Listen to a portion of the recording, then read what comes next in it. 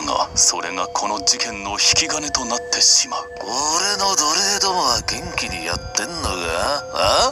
おいあの似顔絵俺だよな。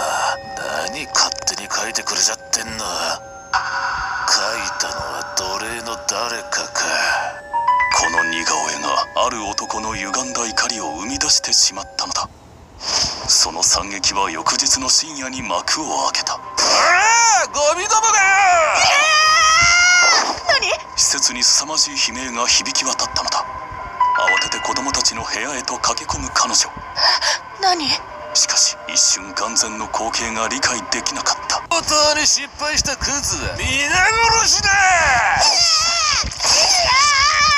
奴らは子供たちを次々とその手にかけていたのだ。何さらしとんじゃ三下ぶち殺すぞガス！誰を弾いたと思っとるんじゃ！100回殺す！そこにはボートの集団が侵入しており奴はドスをかわすと同時にショルダーペンボールペンを肩に突き刺した。本当に失敗したクズ。は皆かましいわボケしかし奴はそれをいとも簡単にかわす。